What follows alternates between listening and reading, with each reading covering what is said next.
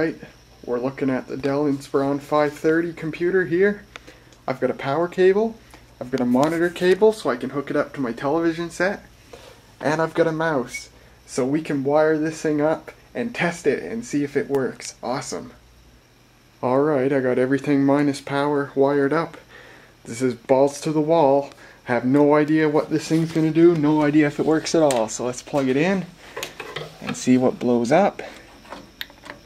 We've got, ooh, it's already on. Startled me. We got beep, we got Dell. Oh, previous attempts at booting the system failed.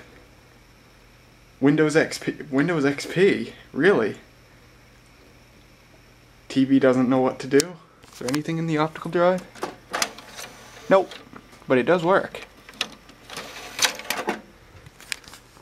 Previous attempts at booting have failed. I wonder what that means. Maybe the CMOS battery's dead. God, it looks promising right now. It's nice and quiet.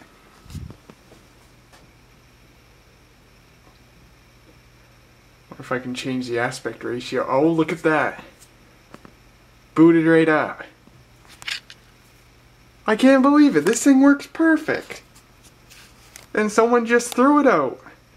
Oh, them art students. They don't know good stuff when they see it. Oh well, more for me, more for us. Sweet. Well, I have no idea what kind of, what speed processor's in this, so let's find out. 1.6 gigahertz. It's an Intel Celeron 420. 1 gigabyte of RAM. Windows XP Service Pack 3. Oh, this is fantastic. Absolutely awesome. It's got a D-Link. Apparently at some point in its life it had a D-Link wireless card. I guess, you know, being made in 2008, you know, a lot of people were still downgrading Vista to XP, so that might be what was ac what actually uh, happened with this system. Not much on it. Out of the 75 gigabytes free on the hard drive, 22 in use. Uh, let me see, is there the Dell logo on this? No, so it's not the original factory installation. It's in their cycle bin. All I want to find out is when this thing, oh, lots of pictures. I won't show that in case they're personal. Uh, look at this, family photos. Now see, if I, if I had malicious intentions with this thing, man, I could take these photos and, you know, I could, I, oh, very clear pictures of a lot of people. I could use these photos and, you know, identify the people in them and, you know, do some not so nice things but those aren't my intentions. The first thing I'll do when I get this thing home is wipe the hard drive clean. 2012 would be when this thing was last in use. Uh, let's see. Oh man, hundreds, hundreds and hun 486 pictures and videos. Probably like 10 or 15 gigabytes worth of stuff. Yeah, they're all of the same people, some sort of get together. Yeah, I just looked at uh, a couple of the videos and they are of a very drunk Christmas party in 2012 with a lot of uh, embarrassing things going on, like people playing with blow-up dolls and the like. Uh, for God's sakes, people, if you're gonna, you know, get rid of a computer, be it recycle it or throw it out or whatever, get rid of your personal stuff on it. Holy crap! You know, uh, someone who's a lot more of a jerk than than I am could just take those videos, you know, post them on Facebook or whatever, and really embarrass you. So what I'm going to do is, of course, I'm going to completely wipe the hard drive anyway, but what I'll do right now is just put those in the recycle bin. I tried to put them in the recycle bin. I'll click... Oh, that's weird. There's no delete. That's strange.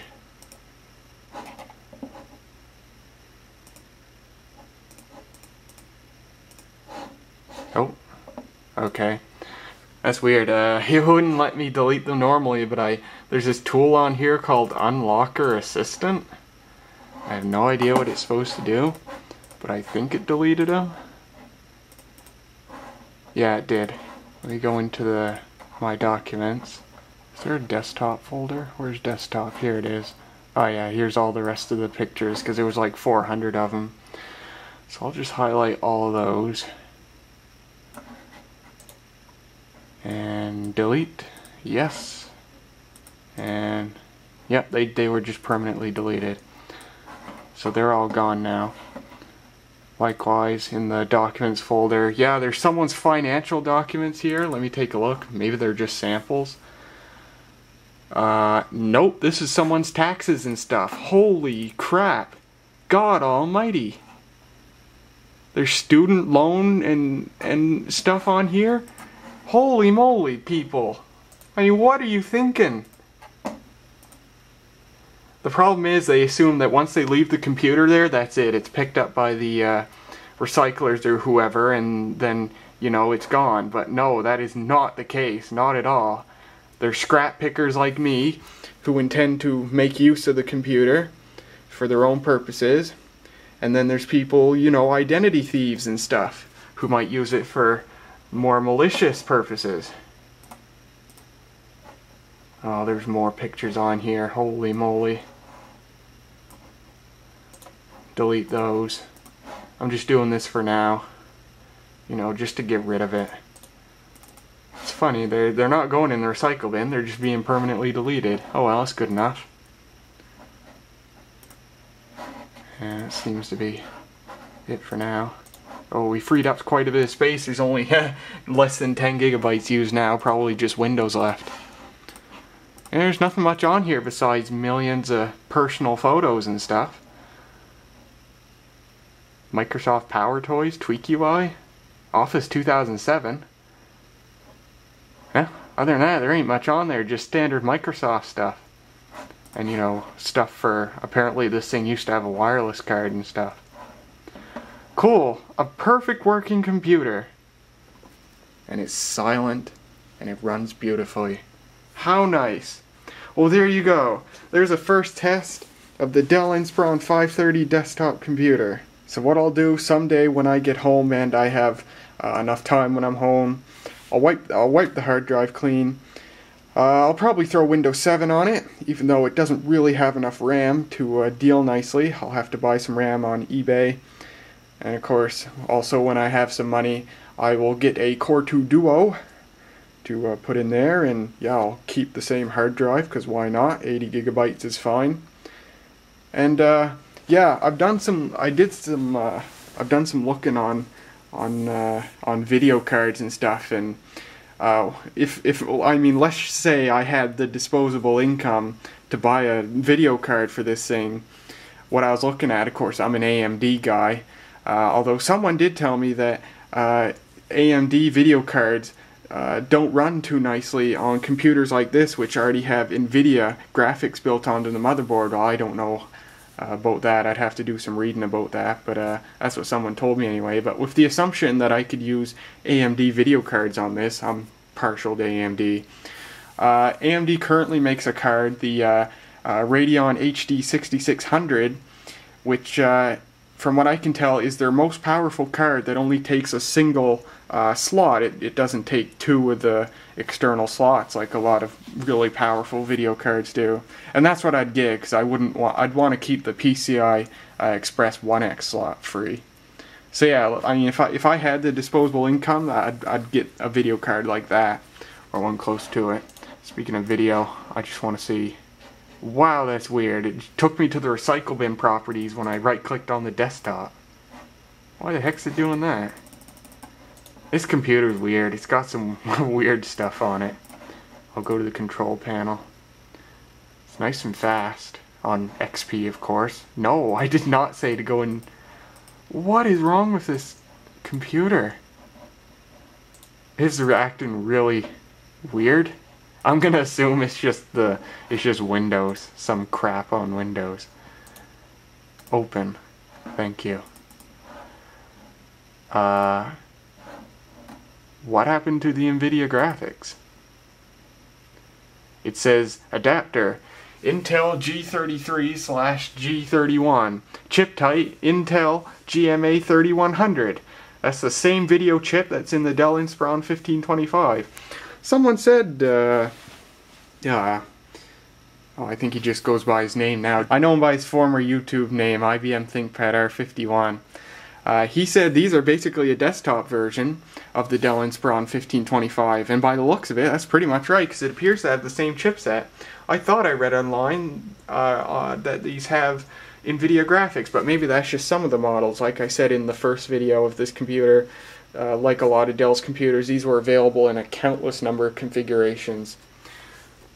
Some of them, apparent, evidently, had uh, NVIDIA graphics, but this one does not. So that's nice. I'll get an AMD video card someday. Well, that's it, guys. Uh, probably the next, th this will probably all I'll show of this computer for now because until I upgrade it, I won't bother putting it to any use. So probably the next time you'll see this computer will be when I get the money to upgrade it, which will be processor, RAM, and a video card. So that could be a long time down the road. I'm talking like a year or two. But uh, I do want to do that. But until then, here's this computer, perfect working, free out of a recycling box. How nice. So uh, hope you guys enjoyed and I'll see you later. Well, right after I thought I finished this video, I think I discovered why this thing was uh, disposed of to start with. The power button didn't work. I, uh, I tried holding it in to turn off the computer, no response at all. I just unplugged it and plugged it back in and it didn't come on. And I hit the power button and it didn't come on. And uh, yeah, the power button just didn't work at all. So I was able to push it out of the uh, front panel here and by wiggling the wires I was able to get it to work. So it seems that the wires have an in intermittent, intermittent connection uh, just you know by random chance. Uh, I've got it put back in and the wires are making contact now.